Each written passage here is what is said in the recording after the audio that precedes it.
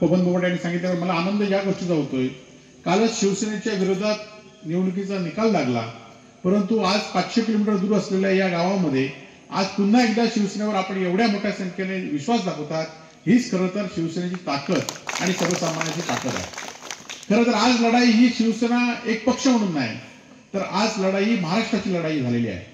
आज आपण बघित असाल की उद्धवजींना मुख्यमंत्री पदावरून का काढलं?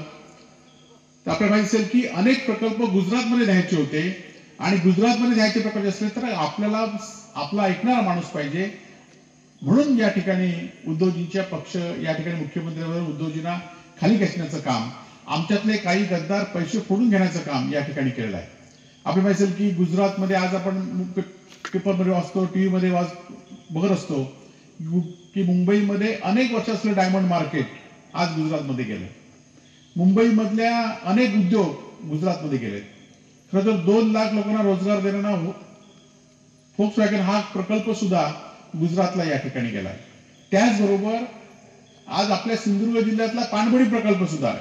जो प्रकल्प आम्ही सुरुवात या ठिकाणी केली होती तो प्रकल्प सुद्धा गुजरातला केला आणि त्यामुळे जे जे चांगलं असेल ते ते गुजरातला द्यायचं आणि जे जे विनाशकारी असेल मग आपला जेतापूरचा प्रकल्प असून दे तो कोकणासाठी द्यायचा. ह्याच्या विरोधात या ठिकाणी आपण होतो म्हणून या ठिकाणी उद्धवजींना या ठिकाणी विरोध करण्याचं काम ही मंडळी करतायत. खरं तर भाजप हा पक्ष कोणता आहे? आपण बघितलं असेल की अनेक वेळा गुजरातला विकास करायचा आहे. आज आपण खरं तर एकोणीसशे साठमध्ये नारकण्यात माहिती असेल की आपण महाराष्ट्र स्वतंत्र का केला? तर आपल्याला मुंबई पाहिजे होते म्हणून त्या ठिकाणी त्यावेळेचा लढा झाला. म्हणून एकशे पाच लोकांनी त्यावेळी मुंबईतल्या हुतात्मा दिलं होतं आणि त्यातले अनेक लोक हे आपले होते मराठी माणूस होते.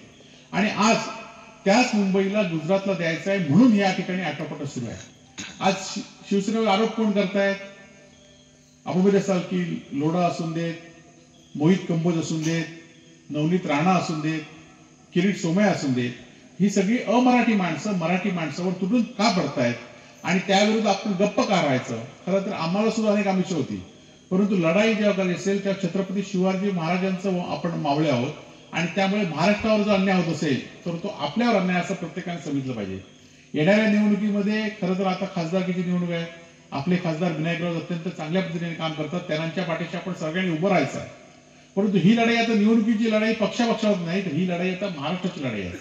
महाराष्ट्रावर संकट आलंय आणि त्या संकटाला आपल्याला सामोरं जायचं आहे. आपल्याला माहिती असेल की सुरत काही वर्षापूर्वी छत्रपती शिवाजी महाराजांनी सुरत केली